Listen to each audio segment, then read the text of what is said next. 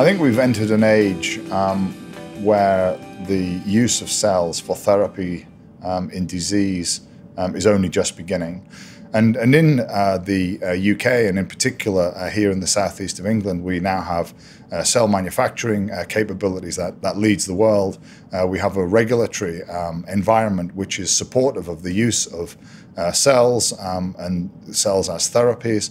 and of course, because of both of those things, we have an academic and medical and industrial environment in which the understanding is present of how cells can be used. So MedCity was established um, in order to drive uh, the economic output. I think you know some of the key elements um, that are important with respect to cell therapies are first of all being able to uh, understand the uh, fundamental mechanisms that are driving a cell um, to um, work and how that can be made to happen uh, in a biological system. And, and, the one we're interested in is humans.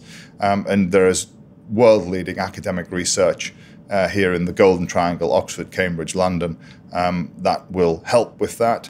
Ultimately, um, in life sciences, one uh, develops products, and those products are often through experiments, uh, clinical trials, for example. Um, access to health systems is also very important. Uh, here in London, just for instance, we have access to over 8 million patients.